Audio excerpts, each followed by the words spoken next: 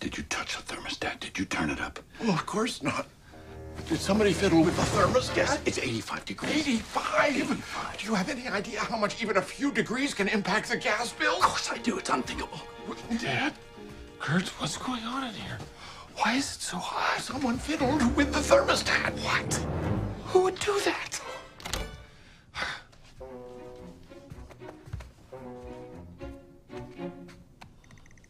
What do you think you're doing?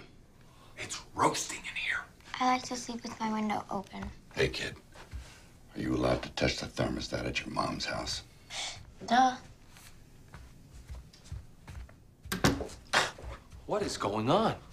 Adriana, she turned up the thermostat. Said she fiddles with the thermostat at your place anytime she damn well pleases. Dusty, is that true?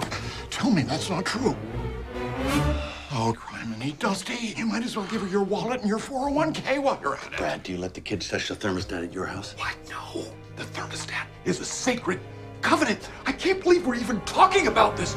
This is madness!